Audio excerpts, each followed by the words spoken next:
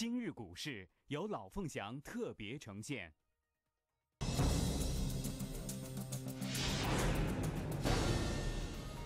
观众朋友们，晚上好，欢迎您收看由老凤祥冠名播出的《今日股市》，我是李婷，在上海问候各位。记得大概在两周前的时间，国泰君安的首席宏观分析师任泽平啊，明确看多之后呢，市场的情绪呢，其实曾经也一度高涨过。因为大家会觉得说，哎，之前好像看到任泽平的观点呢，会说熊市的反弹一波比一波弱啊，所以呢，千万涨着涨着别想多了。可是当他两周前突然开始明确的看多，甚至是给出了一个向上的指数空间之后，大家会觉得，哎，这个市场是不是要发生什么啊？是不是会有一些不一样的地方？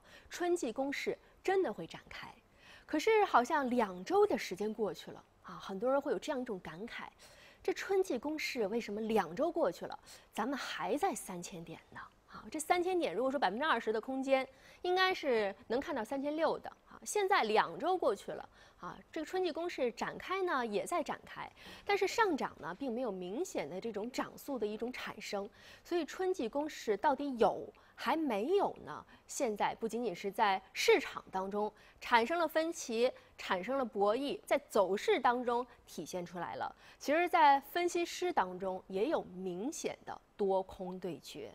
我刚刚说到的其实是多方的代表哈，任泽平啊，他的几个观点，一个说目前是做多 A 股的黄金交叉，或许我们可以理解为就是一个做多 A 股的黄金期吧，四到五月份都是最安全的。呃，他当时也提到说，经过两个月时间的啊，咱们这个筑底已经完成了，所以未来呢，应该会有一些利好的消息不断的释放啊，利空的因素已经差不多消耗殆尽了，所以呢，整体看市场选择向上的。是一个大概率的事件，给出了百分之二十的空间。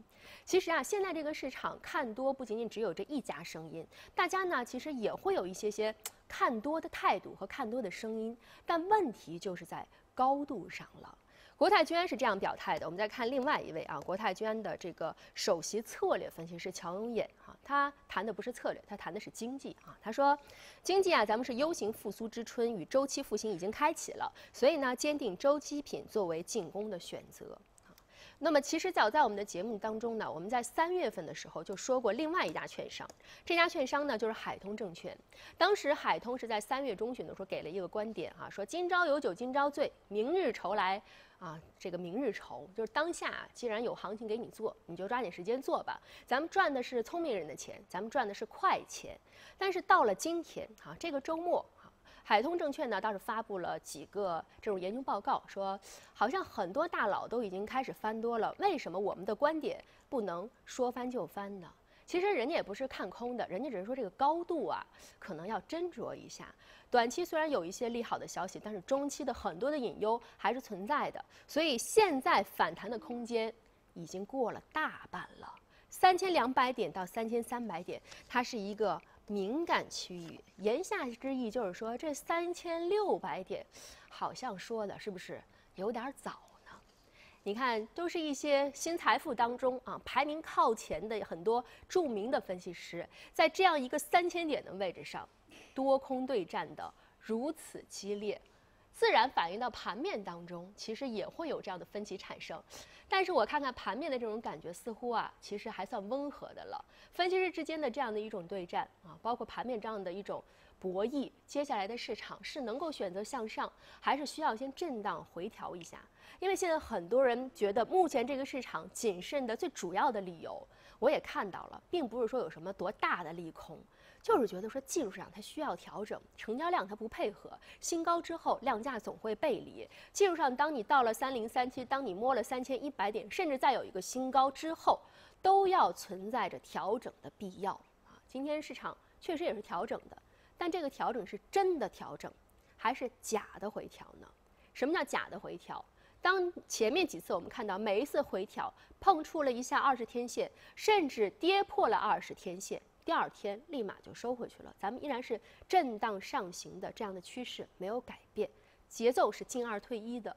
但是今天的这样的一个又留下一个向下的跳空缺口，真的调整还是假的回调呢？一会儿来听一听两位嘉宾的观点啊，先来听听潘老师的。今天潘老师做特约评论员了，您觉得今天这个市场的走势让你的感觉是什么？真的调整会展开吗？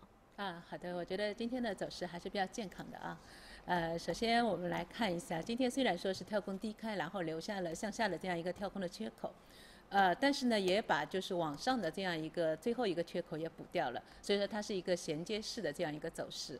另外呢，刚才我也听李婷说哦，各位大佬的争执都非常多，所以说我们市场上出现犹豫啊，出现反复啊，出现来来回回啊，都是很正常的一件事情。那么从那个对市场的看法角度上来看，啊，去年年底到今年一月头上都是偏悲观的比较多一点。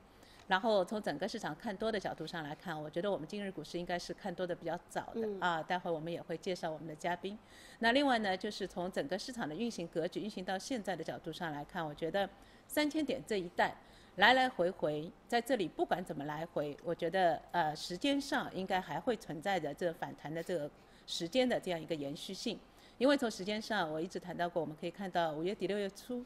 呃，也就是说，如果说回想一下我们零九年到一六年的美国股市啊，很有意思，李婷，那个时候每一次创了高点，然后往下跌，大家都说见顶了，是吧？每一次都说往上，往上的时候见顶了，往上的时候见顶了，然后整整走了七年，然后再来看看我们的市场啊，我们的市场是从现在开始一月底左右开始走的，是吧？走到现在只有大概两三个月吧。啊，短短的时间之内，然后就反复说见顶了，见顶了，我就搞不懂了，就是这当中到底出现了什么问题啊？然后空间上大家看的也不太多，是这样的。因为走的太犹豫啊，走的很犹豫。那么如果说是一个弱反弹，是一个犹豫的反弹，那我觉得在时间上应该是得以补偿，能够延续的。那么今天这个市场就是说它有几点有可能与以往有所不同。那第一点就是说，呃，这轮反弹行情上来，每到周一好像都是比较好的。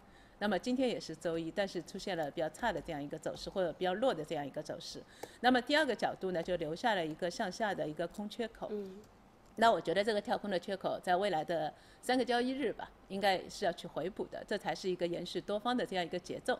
那么从第三个角度上，今天的量呢，今天量呢真的实在是太小了，也就在两千亿左右，就我们的上证指数啊，在两千亿左右这样一个量能。而这样的一个量呢，实际上显示出市场就是既想要观望，又想要谨慎，然后在这里又想要等待的这样一种复杂的这样一种心态。就非常非常复杂，在盘面上淋漓尽致的表达出来，也就我们在后市都可以看到，就六月所回稳，但是再度的争夺，再度的反复，所以说我觉得这个行情在这里实际上是韵味十足，也就是说大家都没有就是往上或者往下突破的空间，但是在这里都有盘整和稳固的这样一个时间段。那么针对这个时间段，我觉得大家还是要珍惜的。那么如果说一月份给我们画下了一个很大的跌幅这样的一个月 K 线，那么接下来未来的四五个月应该都是修正线。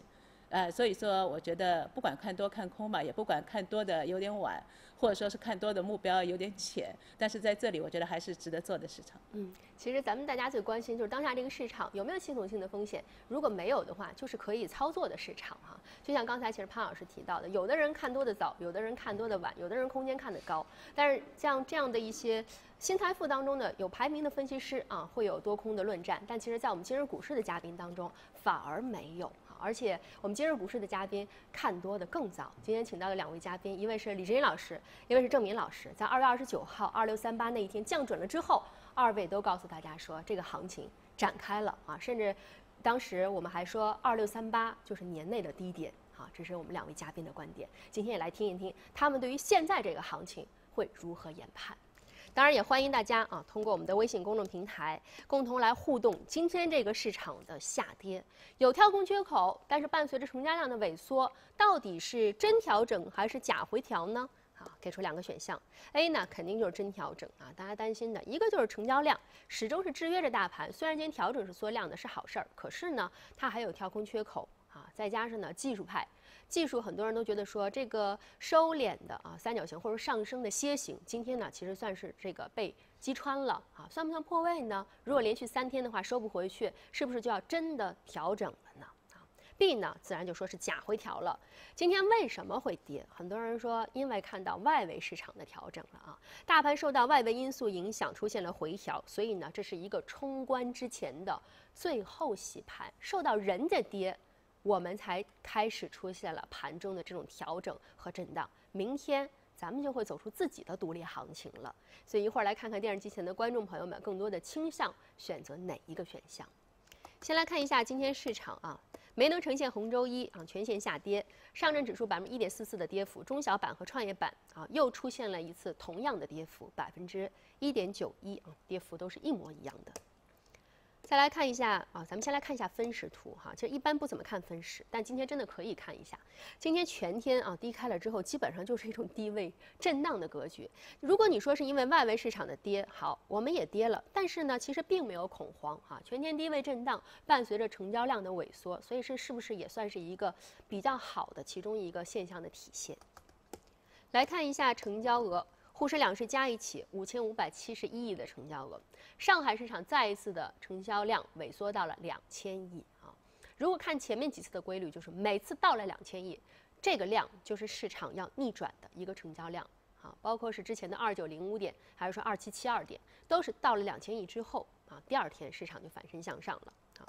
我们再来看一下涨停和跌停家数的对比，二十五只个股是涨停的啊，三只个股是跌停的。涨停家数呢确实不多啊，因为今天市场的赚钱效应也不是很高涨。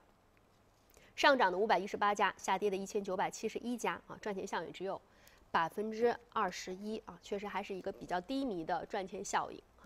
我们先来听一听李老师的观点啊，到底今天这个跌怎么看？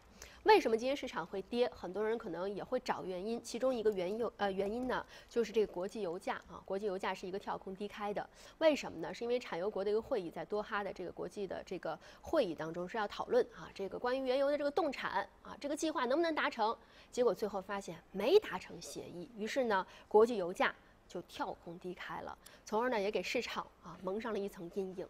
来听听李老师，您怎么看？您觉得我们受到外围因素的影响，会跟着人家一起跌，还是今天这种跌已经调整到位了？我认为调整的差不多了。嗯。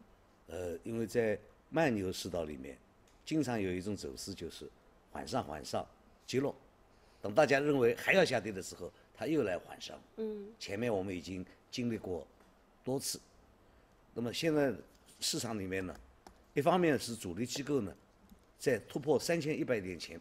之前呢，就是不断的在耐心的震荡洗盘，嗯，到今天为止，在三千点上方收盘已经十五天了，在三零三零点上方收盘已经七天了，所以总的一个方向是要突破三千一百点的，嗯，那么今天的从外围的因素的主力正好一次打压震荡洗盘，嗯，我认为日后的从三千一百点的这个动能啊。条件呢就更加充分了，嗯啊，所以，呃，我认为这个方向是往上的，这个调整一两天，呃或者就是调整一天，嗯，那么兴许呢又走上原来的轨迹。你觉得方向还是和原来是一致的啊？也就是说，咱们这个震荡上行的趋势没有改变，是吧？那我还是想问你，因为今天其实我们看到还是有一个跳空的缺口哈，呃，而且呢，其实咱们前面几次呢，就是就再怎么调整，至少二十天线能够守得住，而且呢，成交量呢也会出现明显的萎缩啊。如果从这几个表面现象来看，似乎都觉得调整到位，但是问题就是从技术上，我知道您也会这个多多少少看看这个技术哈，因为技术说呢，这个反弹走到这儿了啊，已经有。压力位了，就表明其实已经冲不上去了，呃，而且成交量呢跟这个市场的这个热点啊，包括做多的情绪都不配合，哪怕有新高，哪怕你突破了，其实它还是要回踩的，因为只有回踩了之后，指数才有空间。就像指数现在它不够活跃，它没有弹性，就这几十点，你说大家谁的操作意愿会很强？您怎么看啊？就是我们中国的投资者呢，嗯，还没有适应结构性行情。是全球股市的常态。嗯，我们不要以为美国股市在不断的创新高，美国股市的每平均的每天日成交量是三百五十亿美元，这和人民币是两千三百亿，在我们看来是低量了，人家就是平均这个量。嗯，但是这个三百五十亿美元里面有一半是道琼斯三十个指数的成交量，其他的个股都是没量的。我想我们中国的股市正在逐步逐步的走向。这种结构性，所以不能限指数涨得慢，涨得慢未必不好，是吧？只要涨就好了。只要有结构性的行情，不要暴跌，我认为这就可以了。嗯。那么现在市场呢，因为经过了股灾以后呢，还是有心态不稳，嗯，心有余悸，呃，那很多人认为现在高了，那么现在的三千点到底高还是不高？我提供个数据，大家都知道了。呃，新任证监会主席刘士余是在二月二十号上任的。嗯。那么他上任以后到今天的收盘指数，各个指数涨了多少呢？上证指数涨百分之六，深成指涨百分之五点五，中小板涨百分之六点九，创业板涨百分之四点五。嗯，涨了那么多，创业板也就是涨了四点五。那么，刘主席上任两个月就涨这么一点，高吧？我认为不高。嗯，因为你觉得那是起点是吗？起点。嗯，呃，二月二十号新的主席上来，你觉得那就是起点了？就是平均下来就是百分之五，涨了两个月百分之五，典型的慢牛。但是呢，不要认为就是这个行情就是鸡肋不值得做。如果你个股选得好的话，百分之五十都有了。嗯，啊，很多很多的个股都涨了百分之四五十，是吧？所以我想呢，对这种结构性行情，对五六千亿成交量成为新常态，我想我们要有准备的。好，这是一种新常态哈，而且呢，这种震荡上行的趋势没有改变。这一周您觉得还是有可能去突破一下三千一？三月十四号，嗯我我呃我也是我和志明来做节目，我星期一我说本周五就望突破三千3000点正好嗯星期五突破了。今今天我在大胆的预言，本周五以前突破三千亿。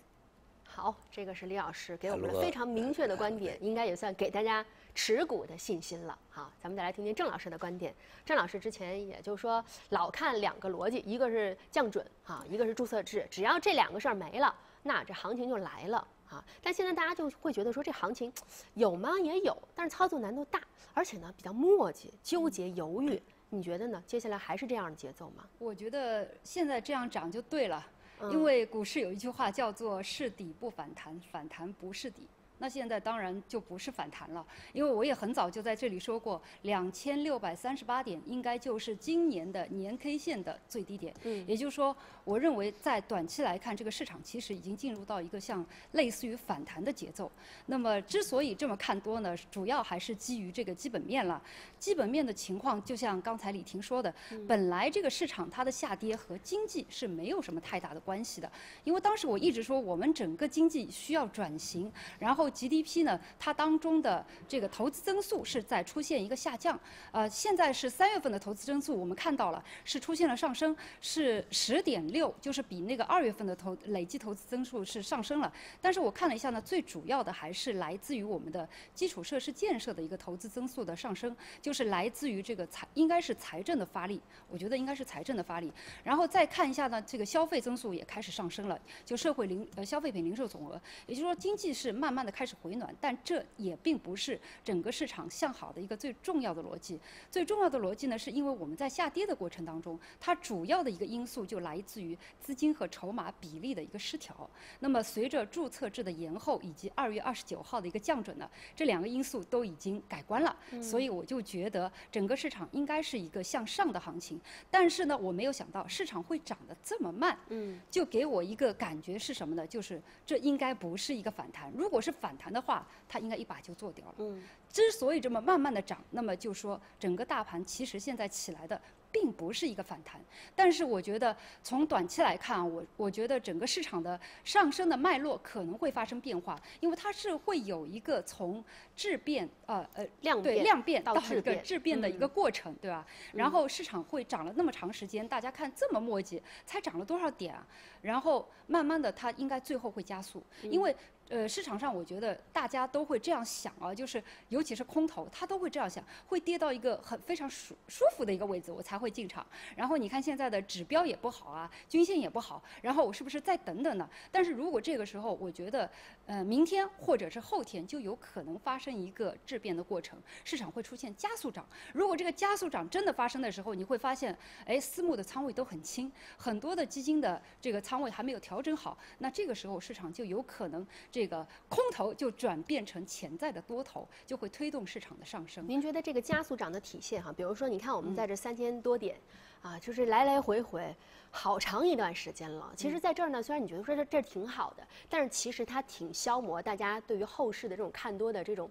呃，气势的，因为老觉得这儿其实好像就是上不去，上得去的话就不应该这么走了。你觉得后面有可能会加速上行？如果能的话，那肯定好，对于做多的士气啊会产生。但是你觉得加速上行有催化剂吗？还是你觉得说是有一些其他的什么原因呢？呃，我是这样看的，就是我主要是看市场面的一些心里面的影响吧。主要是现在你看啊，大盘每次，呃尾盘拉高，然后它的后市呢第二天就会一个低开，嗯，然后呢尾盘如果是杀跌的话，第二天就会有一个高开。就你看上去很强的时候，其实它回落了；你看上去很弱的时候，它就会走强。而且从现在来看，它的底部不断的在抬高，底部不断在抬高，就是说你卖掉的股票呢，很很难再跌到你之前卖掉的这个价钱再去捡回来。就是在这里呢，要提醒大家注意一点的是，现在我们可以低吸，有仓位的仓位轻的可以低吸，但是千万不要再高抛了，因为我怕就在这两天，大盘就会出现一个加速上涨。好，就是你高抛了就买买不回来了，对，行情就启动了。因为你看啊，虽然说今天你说这个市场下跌是由于外围因素的影响，但是你去看一下道琼斯啊，像德国的指数、法国的指数，基本上都回到了十二月去年十二月的一个高点。也就是说，整个全球，我还在这里讲的一个就是叫资产证券化率，全球的资产证券化率都是那么高的情况下。那个 A 股，你叫它怎么跌？现在也没有什么利空的因素，然后资金和筹码的比例也是非常的协调。在这种情况下，我觉得加速上涨的概率还是很大的。好啊，刚刚其实二位嘉宾相对来说还都是比较乐观的啊，认为觉得说，一个是从量变到质变的过程，可能本周就会产生啊，甚至呢，李老师也说了，有可能会突破三千一百点哈。其实大家也知道，这是一个比较敏感的一个区域了。如果你再不上去的话，很多技术派就会觉得说，它应该是先跌下来，跌到了。了一个相对的合理的位置，或者说大家在等的那个位置，然后进场再来抄底啊。我们来听听潘老师的观点怎么看？刚才其实几位也提到说，好像现在没有什么利空的消息啊，所以市场也没有什么理由要跌。但如果你真的去找理由的话，一个是量，一个是技术形态了，你怎么看？啊，对。今天我们有可能真的是做多团队啊，你也是。啊，就是你到了周一，周一也变成了做多团队了。没有，本来周一有可能就是做多团队，来了以后才知道啊。然后我们两位嘉宾比较具有国际的视野、中线的眼光啊。那我呢来说说就是盘面的情况啊，因为我呢大概是从一月底就是央行做公开市场业务操作，就是那个时候由周二、周四，然后变成每天之后就开始看多，然后随后做了一个双底在这里。那么，呃，现在这个情况就为什么会出现在三千点附近，就是来来回回的反复啊？我是这样理解，有可能是两个因素。一个因素呢，因为将底线的筹码换成本换高换到三千点附近，这是现在在反复这样一个整理徘徊的这样一个过程。大家可以看一下，第一波从二六三八，然后到达了这个附近，然后马上就回来。那么就这就代表在这个位置上是站不住的，是有反复的。然后现在重新回到这个位置，能够盘衡。就代表在这边是稳固的，就是起码我能在这里能坐下来，或者在这里能够继续走，或者休息一下也没问题。这这是第一点。那么第二点，在这里为什么会有这样来来回回的反复？这是取决于量能。想想看，每天两三千亿元的量能啊，这些量能如果说对资金量比较大的投资者或机构来讲的话，叫他们去做转身，他们是不可能做一次的全面的转身去完成这样的一个滚动。那么他只有做 n 次的滚动。也就是说，用 n 次的叠加来完成一次的叠加，因为不像我们的一些中小投资者啊，我们比如说，要么就出，要么就进，然后突然之间就完成了百分之一百的转换。但是现在这个量能局限，导致了大资金的机构它只有不断的这样一个来回，然后通过这样不断的反反复复来回，就是比如说八次。叠加起来等于一次，或者五次叠加起来等于一次，这当然是看资金量的不同，所以会在这里出现这样一段的反反复复。那我我认为就是这种反反复复在近期还是会延续的，也就是说，我们如果在这里去讨论高度，我觉得在这里有可能为时过早；但是我们如果说在这里去讨论时间，我觉得应该是恰恰好。也就是说，在这里的话，它延续的时间会非常非常的长。那么，我们通过几件事情可以反证，现在就是大跌或者快跌的可能性概率几乎就没有。嗯。首先，以前每到呃月末的时候总是有千股跌停，然后现在三月份改变了。然后呢，啊，每个周四好像都不太好，然后上周四顶住了。虽然说周一 现在重新开始有点弱啊，所以从这一系列改变上也可以显示出，实际上目前市场的情绪是偏向于稳定的。那么在稳定的情绪之下，这种整理和来回有可能就更为适合。那么现在这个量能在量能背景比较小的情况之下，那我觉得在这里的停留对多方来讲应该是最安全的。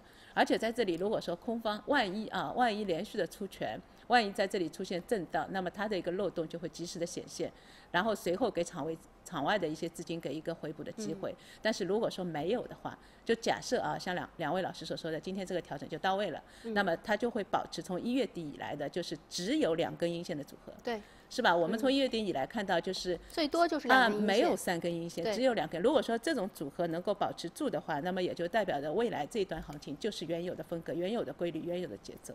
所以说，我觉得在这里的话，实际上多方不用着急，也不用出拳，在这里只要能稳住或者说能停留住，应该就是最大的胜利了。嗯，其实刚刚说到这个规律哈，最近一段时间的规律，一个是刚才潘老师提到的，就是最多我们就是两根 K 线的阴线组合哈，还有呢就是每当碰触到二十天线的时候啊，这一根就是二十天线，基本上啊只要回踩之后啊都能够收回去啊。还有一个就是成交量，当成交量啊如果极度萎缩到比如说两千点呃两千亿的时候，两千亿的时候，其实呢第二天都能够反身向上啊，就是至少是这一波的这个节奏是这样的，所以大家可能明天也会关心了，明天是不是能够反身向上啊？是不是二十天线是有支撑啊？然后热点市场会不会有呢？稍后回来我们再来听一听几位嘉宾啊对于明天市场还有哪些具体细节的一些研判。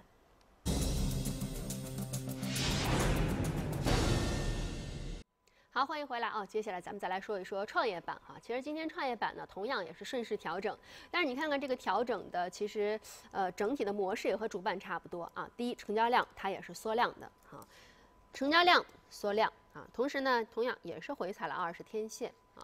呃，我们看其实创业板它也是这样一种上升的。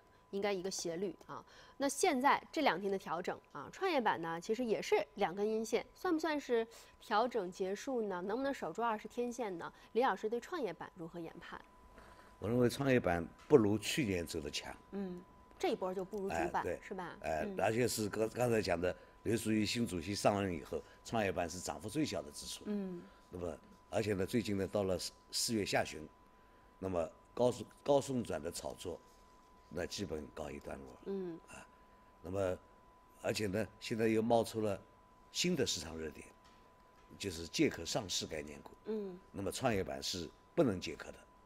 这样的话呢，就是沪市的主板和中小板的机会，今年可能要大于创业板，而创业板的股价呢又非常高，所以呢，今天的调整有很大的因素，就创业板的投资者在换股，啊，这样的话呢，使它的指数下跌的比较多。刚才我们在研研讨为什么向上呢？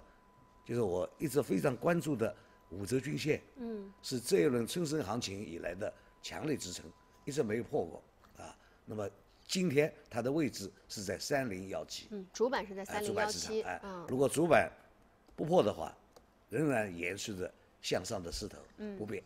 如果破的话，那么我想下去的话就是应该是买进的机会，嗯。因为今天的缩量的跳空缺口，大家不要太害怕，嗯。要放巨量的长阴的跳空缺口，才有可能成为转势的标志。嗯，现在不存在这个问题，你觉得现在不具备什么利空的消息，会哎使得市场出现这样长阴是吗？而且我们要注意，是否也注意到，全球的股市都在创出去年十二月底的新高，嗯。唯独中国股市的四个指数，至今还离去年的年底的收盘指数低了百分之十五到十六。嗯所以这样一个大局啊，呃如果二零一四年年底的话，上海是三二三四，今天还没到，我们两年以后就倒退了，啊，所以从大局观的角度，我们应该百倍珍惜三千点这个低指数，搞了二十六年才三千点啊，如果是三万点的话，我们做都不能做了，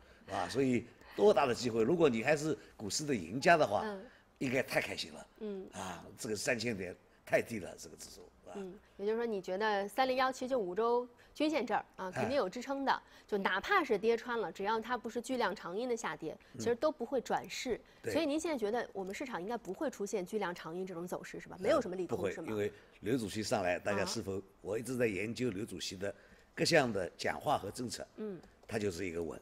嗯注册制推迟，嗯。占星版推迟，创业板的啊新三板的一些股，呃通过股权直接进入 IPO 叫停，嗯。啊，就是一个稳，而且他周末在广州这个机构座谈会强调一个稳健经营，嗯。然后是恪守尽责，然后保护百倍保护中小投资者利益，嗯。所以我们的这个走势两个月涨了百分之五到六，这就是一个稳嗯，这就是稳的体现，稳中有升吧？对是是稳中有升啊、好，再来听听郑老师的观点，关于创业板的，您怎么看？我倒是没有把它们分得那么细，就是主板归主板，然后创业板，然后中小板。我觉得这三个板吧都应该是有机会的，因为创业板它可能盘子比较小，然后有一些高送转的题材呢，我觉得最近也是炒得比较好。呃，关键还是看个股了，个股应该是轮动，板块轮动。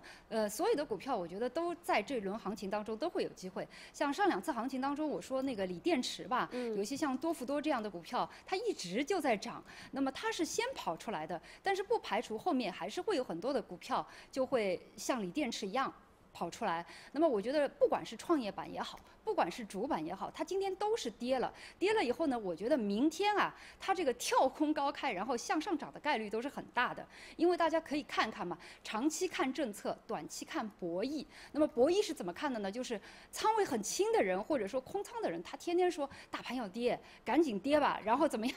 让你你说你都没仓位了，这大盘怎么跌啊？所以我觉得每一次啊，它尾盘向下杀的时候，第二天都会来一个高开，然后尾盘上向上涨的时候，反而是第二天会低开。所以我对明天的感觉，我觉得向上跳空高开，然后一路拔上去，说不定就是明天和后天就是大盘一个向上的一个转折点。不要说三千一百点了，那个点位实在太低了。我觉得本周就会站上一个比较高的一个位置就。是明后两天，你觉得就已经是可以从量变到质变的对一种体现了，对对对是吗？但是我们现在 A 股呢，因为今天我们互动话题也有提到，是不是外围的因素也会有影响哈？你觉得外围的市场会影响我们？比如说这个油价啊，因为现在这个跳空低开了啊，当然真正的这个交易在晚上我们也会看到，包括像道指啊，我们大家晚上可能也会关注一下，包括像这个呃这个大宗商品啊，有人说短期好像也。走的差不多了，还有就是美元，美元呢，现在有人也判断说可能会出现反弹了。就如果说当这几个因素叠加之后，你觉得 A 股还能够独行吗？哦，这个我我应该在这里讲过好多次了吧？就是我在二零一六年的宏观报告，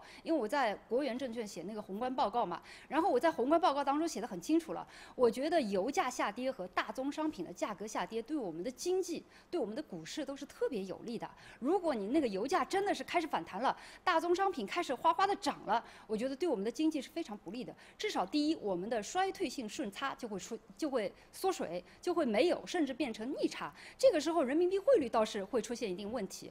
另外一个呢，就是现在来自于股市的资金啊，我一直认为是实体经济当中流过来的。如果说大宗商品涨价了，如果说这个实体经济开始好转了，那资金就会分流，反而对我们的股市是非常不利的。所以我不知道这个市场为什么有那么多人去看石油的价格，认为石油的价格跌，我们 A 股就会跌。我不知道这是什么逻辑。反正从我的逻辑来讲，我觉得石油价格跌对我们是有好处的。如果你再涨的话，我们反而是不利的。所以我觉得外围市场其实对我们没有什么太大的影响。只要是欧美股市它还能挺在当前的位置，我现在看了一下，我觉得欧美股市要暴跌的概率也不是很大，并没有什么特别的利空嘛，也没有什么突发的因素去影响他们。所以我觉得他们在这个位置上进行一个震荡整固，甚至还是一个慢牛的行情的话，那对我们的 A 股来说，这个整个资产证券化率要平均化的话，我们还是非常的有利的。嗯，好，再来听听潘老师啊，谈谈这个创业板是不是也像刚刚郑老师说，其实现在好像大家把主板、创业板确实可以合并到一起来看，只不过当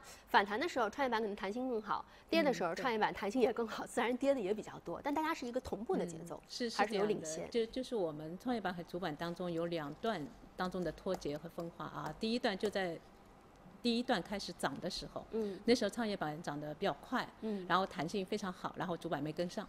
是吧？然后这一次在这一次震荡回吐的时候，应该讲主板比较坚挺，然后创业板跌的比较多，然后现在是比较完美的，就两者之间相对达到统一的状态。嗯就是在两段分化之后，现在是统一。那么对于创业板呢，我有可能比较看好，因为我觉得就是在目前这种位置上，创业板它的一个调整是偏充分的。然后从第二块角度上来看，量能上也是支持这一块的，因为主板它没有一个增量的过程，但创业板在前面一波回稳过程，却是一个增量和放量的这样一个过程。那么从现在创业板的一个弹性角度上来看，如果说假设啊，假设这里有行情，那创业板是缺不了的。也就应该是两条腿走路，而不是单腿走路，这是第一点。第二点，假设这里有行情，那么创业板的弹性它会恢复得更快，也就从市场操作的角度上来看，它有可能更加游刃有余。所以说，我觉得对于创业板一些品种，特别特别是有一些品种当中，它是实际上创业板它现在我们看到的是成分指数。并不是所有的股票的指数，实际上有很多创业板的股票，现在有一些业绩相当好。我们可以看到去年年报的一些预告当中，创业板业绩这一次是非常好的。如果说有一些业绩很好，但价格又很低估的品种，我觉得现在应该投资应该正当时。所以对这个板块的弹性我是看好的。嗯，好，稍后回来给大家来说一说具体的操作策略哈。如果说呃明天假设还有回调啊，是不是可以低吸的机会？低吸可以重点关注什么样的品种？一会儿回到节目当中来听听几位嘉宾他们的观点和建议。好，欢迎回来。接下来咱们重点来关注一下操作策略到底该如何把握。从今天市场当中的涨停家数来看呢，确实比较少啊，自然热点呢也不是特别的活跃。相对来说，涨幅居前的呢还是曾经活跃过的啊。无人驾驶，今天呢有一个是涨停的，万安科技呢百分之七点一七，金固股份百分之六点四五，中原内配百分之五点七四啊。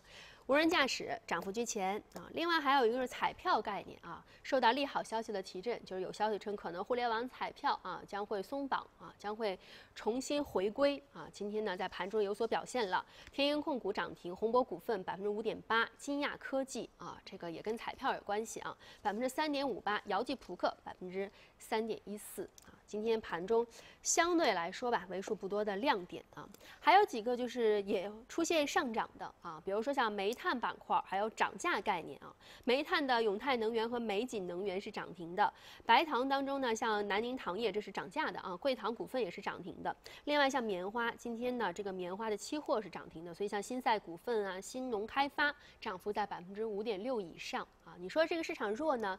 今天从指数上来看低位震荡，但你说没有热点。嘛，其实也不是个股跌的多嘛，我们讲跌幅啊，其实也并不是特别大，所以我们来说说具体的操作策略吧。先来问李老师哈，李老师刚刚也说了，这个三零幺七五周均线是能守得住的哈，而且呢，接下来有可能突破三千一，那现在其实还应该是一个操作的黄金期吧？是不是可以这样理解？对的，我把春升行情呃高度呢，我定认为一个两千八到三千二这个箱体，嗯，刚才三千一也是一个中转站，嗯，是吧？那么。这是从常规站这个角度嗯。来讲的，我认为像呃刚才前呃李婷讲到了一些分析师，嗯，呃百分之二十的行情那就三千六，对，呃千点大行情那就是呃三千九四千嘛，嗯，就百分之二三十，嗯，这都是常规站而已，嗯，那么我们战战争当中还有一种形态叫超限战，嗯，就是我们不跟你去拼指数，百分之二十三十指数。打上去多艰巨啊，太慢了。我们跟你拼个股，拼热点，嗯，是吧？比如像台湾海峡两百六十公公里，我们阻挡了解放军当时机机帆船、木船渡江渡不过去。嗯，现在我们有导弹。市场当中，李老师，我们就是市场当中的这个操作。哎，那么我们呢，可以通过超越的方式，嗯，就是个股突破的这种超越的方式的，来提前来跨越这个指数的百分之二十三十的目标。嗯。那么现在呢，经过市场的多各各方的酝酿，而且呢，越来越多的人认为呢，二零一六年最确定性的机会就是国资和民企的这个资产重组、嗯，收购兼并以及借壳上市，嗯，而且到四月九号呢，已经有五十三家停牌了，嗯，预计今年后面还会有更多的停牌，那意味着什么呢？就是你。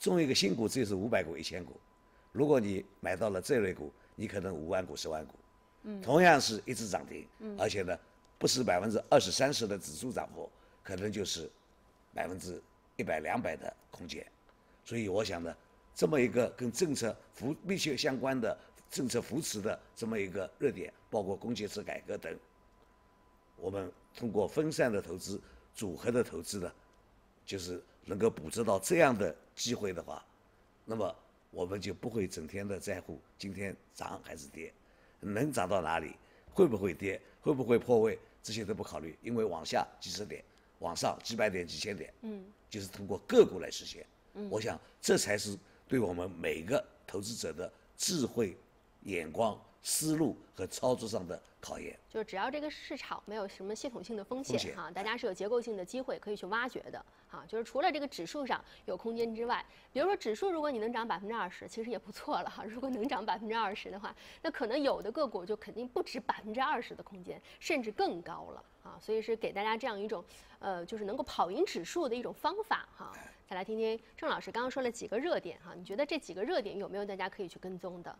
嗯，我倒是觉得应该会蛮平均的吧，就是这一轮行情基本上板块轮动，个股应该都会轮到。那么只不过是有些涨得早，有些涨得晚罢了。那么我在这里呢，就要提醒投资者注意两点啊，这两点很重要。就是第一点呢，从明天开始，你只能低吸，不能高抛了。为什么呢？因为你觉得它是高的时候，你抛掉，说不定你就捡不回来了，因为有可能大盘就从明天开始，它就会加速了。那你高抛的话，你你怎么知道它是高呢？万一它还能连续上涨的，这是第一点。第二点呢，比较重要的，我觉得，呃，因为每个人的想法不一样啊，理念不一样，或者是能接受的东西事物也是不一样的。那么我发现呢，有很多的投资者他喜欢 VR，喜欢那种呃无人驾驶啊等等这种高科技的东西，但是也有的投资者呢，他就偏爱供给侧，就是看那些大盘的，或者还有的投资者呢，他就喜欢资产重组。不管你喜欢怎么样的股票，它其实都是有机会的。但是在这里要提醒大家注意的是什么呢？你不要今天喜欢米亚，明天喜欢资产重组，你买哪个股票它都不涨，等你一抛了，你一换了，哎，它又涨了。这样的话，一轮行情下来，哪怕它涨到三千六、四千，你还是赚不到钱的。所以我觉得在这里要提一个观点，就是要以持股为主，千万不要再换来换去，再高抛低吸了。高抛不要高抛，但是低吸是可以的。嗯，就是也不建议大家去高抛啊，对但是呃，是不是也可以就持股待涨了？对但是不是说呃哪个是行情当中的主线，哪个是主流，你觉得都会轮到？对就这样这一轮我觉得基本上没有哦什么太大的主线，大家看一直到现在，各种板块、各种各种这个热点，它嗯都都在频频繁的这个轮换。那么你就是还是要持股为主，以你自己的喜好来持有你喜欢的这个板块当中的一些龙头概念股，才会哪一段时间才会赚钱。好郑，明说的不高抛，实际上他认为现在是低的，对不是在高。对如果很高的话，他也主张高抛的，对，所？以他认为现在大家，嗯哎，这个建议大家。持股为主。好，股为主。好，稍后回来我们再来听一听潘老师的建议，再来看看大家在微信公众平台上的调查情况。好，欢迎回来。先来给大家抽奖，可以抽取一位幸运观众，获得由飞科智能电器为您提供的扫地机器人。我们请大屏滚动起来，看看是哪位幸运观众。好，停。好，恭喜尾号幺幺九的观众，我们的工作人员会尽快和您取得联系。好，来看一下今天的资金流向情况啊，今天只有两个板块资金流入，而且只有保险、银行逆势流入，净流入一点四五亿和零点四一亿。农林牧渔、旅游酒店和供水供气是相对流出较少的啊，在一点四亿之内。我们来看一下流出比较多的，计算机净流出十五点九亿，有色金属十二点二亿，电子信息十二亿，房地产十一亿，医药十亿啊，整体都是以流出为主。相对来说啊，这个只有银行、保险吧，这个有一些净流入啊。咱们来看一下，明天在盘中可以申购一只新股啊，这只新股是永和智控，申购代码是零零二七九五，发行价格十四块八毛五啊，上限是一万股，在明天的盘中呢，大家可以去申购一下。接下来先来听听潘老师啊，刚才说了几个热点，呃，你觉得大家这个有没有哪个热点是是可以重度去关注，或者说值得深度去挖掘的？啊，好的，我们针对今天的热点点评一下啊。嗯我觉得今天热点里面，呃，比较看好的第一个是互联网的彩票，因为互联互联网的彩票将来政策上有可能会有所改善啊，包括就是在网络销售啊，还有在电话营销方面，有可能将来都会比较好。然后今天呢，它体现出来的应该还没有完全到板块效应，因为这是一个小众市场。嗯然后从小众市场上来看的话，就是我们要去关注的是有一些是参股其他的一些互联网的公司、互联网网络的公司、彩票的公司，然后它现在是占有股权的，它本身又有主营业务的。我觉得类似于这种企业，包括互联网彩票概念股，将来会第一得到业绩上的支持，第二会得到股价上的回稳。那么在我们题板上应该也应该有。那么从第二个层次，涨价概念股当中比较看好的是糖。为什么比较看好糖？就并不是因为它涨价多少或者涨价的因素，而是我看到今天的糖，因为糖也是一个小众市场，然后看到今天的糖弹性非常好。也就它的一个弹性和我们现在市场一个死气沉沉啊，或者六手回吐啊，或者六手震荡啊是格格不入的。也就它表达了自己独特的风格。那么一般来讲，在整个大盘震荡或者说是在比较沉寂的时候，能够脱颖而出的，应该都是有独立意向的品种。那么还有一点呢，我刚才啊，就是也听了两位嘉宾讲啊，我觉得也比较赞成两位老师讲的。啊，首先第一点就是我们一定要有一个中线的思路，就是如果说你现在去折腾短线，我觉得会比较累，也会比较辛苦，而且因为它的热点比较跳跃，如果说你要去追随，那么很有可能就追随在一个小高点上，然后等两天，然后接下来又是别人展示，这样就会比较难受。那么第二块呢，我觉得应该选择自己熟悉的品种做。实际上股票真的没有好坏。很多人说，呃，这段时间有热门股或者有强势股，只不过这段时间涨得比较快而已。嗯。但是真正在这段时间，我们能做的事情，应该是将手中的股票降低成本。我觉得这是我们能做的。也就是说，你要掌握它的规律，你只要不选择还在跌的股票就可以了。它整理有整理的规律，然后上涨有上涨的规律，然后掌握好这些规律，然后我觉得不断的进行操作，这是最重要的。呃，而且在这个操作过程当中的话，第一，筹码不损失。第二个成本降下来，如果说这样的一个过程也不亚于一轮牛市的，就是大家不要去觉得好像指数涨很高，然后才是一件很高兴的事情。实际上指数横在这里，对于老的投资人或者老的股民朋友来讲，应该是最好的礼物，因为大家非常熟悉这种操作环境，而且在这里应该是比耐心的时段。也就是说，谁的耐心好，谁在这里能够来回滚动的好，谁在这里能够成本降得低。那我觉得对将来是最为有利的，做自己熟悉的品种。嗯，所以其实只要市场是一个可操作期，啊，反而大家是不乏这种挖掘市场机会的这样的还有还要加一句啊，就现在不要看看大盘磨磨唧唧，但操作上千万不要磨磨唧唧。嗯，因为很多时候就是我们看到过很多行情，比如说类似于零九年的。它也是很多股票实际上早就开始启动了，然后回过头来看看已经涨得很高，嗯大盘也是这样的。如果在这里磨磨唧唧，你也去等等待待，然后等到将来你回过头再做，那个时候就来不及了。嗯。所以就是，如果找到，比如说业绩比较好，包括有市场的热点啊，包括成交量、价格啊等等一系列的，哎，都是不错的。在这个市场当中呢，大家跌的时候，其实都是不要怕，还是觉得说可以去积极的介入哈。好，我们再来看看电视机前的观众朋友们啊，是不是这样子想的？或者说，更多的人倾向于说，今天是一个真调整还是假回调啊？今天最好的呢，就是虽然跌了，可是它是缩量下跌的，哪怕留了一个跳空的缺口，因为之前也有过缺口啊。其实第二天就补掉了，所以呢，这个跳空缺口的缩量下跌啊，呃，有更多的人啊是选择了 A 这个选项啊，B 这个选项啊，说是假回调啊，百分之六十二的人。选择假回调，觉得没事儿啊，而且前面我们都经历过了，两根阴线的调整我们经历过啊，调整到二十天均线的调整我们也经历过了，三千点这一线哈，它就是要反复的纠结，反复的震荡，消化获利筹码也好，在这换手也好，抬高大家的成本也罢啊，所以在这个位置上，更多的人，而且今天这个比例啊，这个相对来说比较高了，因为之前都是百分之五十啊对百分之四十，但是今天明显就是。百分之六十二对百分之三十八这样的一种对比的关系，我们再来看看仓位调查的情况啊，加仓减仓，空仓的比例会发生怎样的一种变化？从今天市场的这个哦，这是我们抽奖的一个环节啊，我们稍后来给大家看一下这个仓位调查的情况，看看今天加仓减仓啊，今天呢其实这个空仓的比例啊百分之十三啊。呃，减减仓在百分之二十四，加仓在百分之二十二，仓位不变在百分之三十一。也就是说，可能大家觉得今天哎，虽然跌了，可我愿意再看一看。大多数人还是这样的一种态度。减仓的比例呢略高，百分之二十四，还是有意要在明天去减仓。其实空仓的这个比例倒有点玄机，之前呢都是相对来说比较低啊，只有一次到了百分之十七之后呢，突然间第二天市场逆转了啊，上涨了。今天这个百分之十三，其实说高啊，也并不是特。别高啊！但是如果说在这样的行情当中，还有一部分人愿意在这个位置上空仓啊，说明什么问题？来听一听李老师的建议，你觉得这个仓位现在怎么控制？我感到七八十，七八成，那就挺高的了。其实，因为大家不要注忘，是不是忽忽视了一个一个信息？嗯，就五月一号以后，六千四百亿的社保基金的增量资金，嗯，可以入市，还有六千亿的养老基金。还有六千亿的保险资金的增量资金，嗯，还有两千两百亿的企业年金，加起来的话，要达到两万亿。嗯，如果这样的一个数字，最近走的这么慢，实际上似乎在等待什么？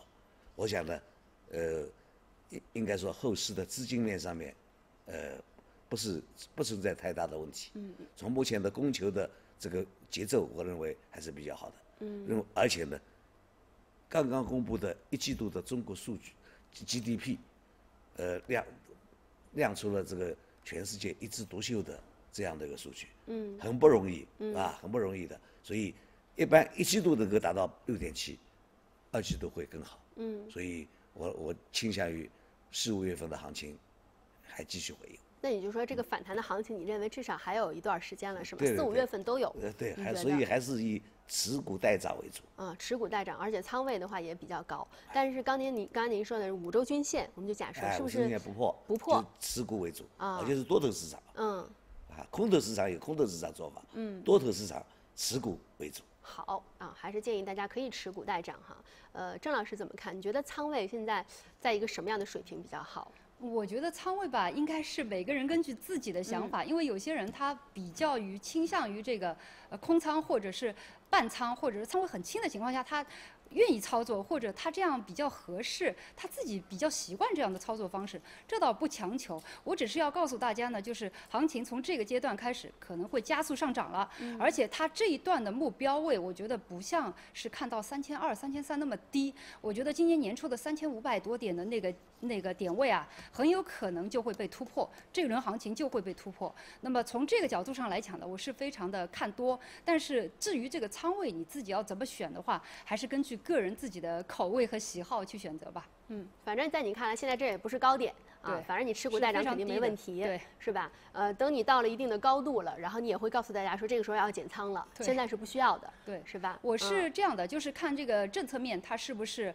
会发生逆转或者会发生变化。因为主要我们看市场在一段时间内它有一个主要的逻辑。那么现在来看呢，整个政策面是非常偏好，呃，向好的方面就是资金呢和筹码的比例关系是非常协调的，再加上外围的市场又那么好，再加上刚才李老师说的这个基本面的情况又是非常好，因为我们看到财政在发力嘛，投资这一块也开始上去了，整个周期类的品种都开始复苏了。那么从这个角度来讲，我我没有理由想象这个市场还会有下跌的空间，应该是只有向上，向上的阻力是最小的。嗯，好，就是觉得现在没有什么利空了，会影响这个市场出现调整哈。唯一能解释的就是技术上啊需要调整了，成交量不配合了哈。呃，潘老师的建议是什么？操作上，你觉得建议大家这个仓位比较高，可以继续持股待涨吗？啊，好的，我觉得我们今天节目做的是成功的啊。嗯，六十二的啊人比较乐观在。选择的时候还都是向多的啊。对，那么在仓位上，从底部上来，实际上一直建议大家是满仓的。嗯既然看多，为什么不满仓？是吧？嗯只要有自己有感觉的品种，手上拿着就可以了。嗯啊、这这是一点。那么刚才我们从调查角度上来，有人在增仓，有人在减仓，那么他们是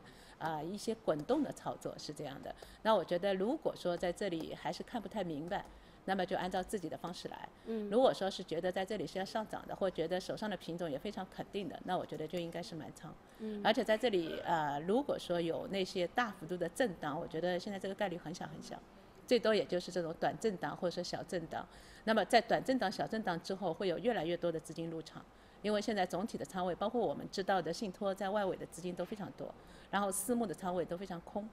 如果说一旦未来有一些大的机构同步进来，给他们略微腾出点空间，他们都愿意往里面进。嗯所以说，我觉得在这里的话，跟大家讲一句吧，反正现在是做股票的时候，就是来来回回的折腾，就是让市场自己去折腾，不要嗯折腾我们自己的心态就可以了。就市场折腾，你自己不要折腾。对你觉得折腾了之后，可能就筹码就丢掉了，是吗？啊对但是你刚刚也说，比如说有一些机构嗯，他也在虎视眈眈的看着这个市场。就如果你跌下来了，我肯定愿意进来。对如果你在这个嗯位置上磨，可能他就不愿意进来。所以你觉得是不是要给嗯他们这样一个空间，才会有人进来了呢？他们有两种进的方式，嗯。就是一种就是往下腾出空间，这是大部分现在在场外投资者等的这样一个嗯。机会；还有一种就是在这里整理完之后，就像刚才郑明老师所说的，直接往上突破，嗯那个时候他们也会进。所以说，在场外等的都是趋势性的资金，一旦趋势呈现，他们都会往里面加入。嗯所以说，不管是往下还是往上，如果说像李老师说的，就是往下的空间很少，嗯往上的空间很大，那么他们加的速度就会更快。